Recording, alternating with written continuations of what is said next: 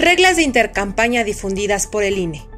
Antes de entrar de lleno a la campaña electoral en marzo próximo, el país tendrá una estación previa, la llamada intercampaña. Una fase dentro del proceso electoral que inicia este 19 de enero y se extiende hasta el 29 de febrero. Por eso la ley electoral prohíbe que haya llamados al voto, a favor o en contra de algún aspirante, coalición o partido.